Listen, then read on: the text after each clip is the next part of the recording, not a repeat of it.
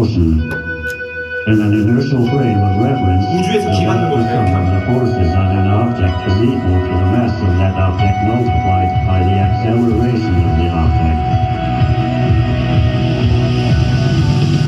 F equals ma.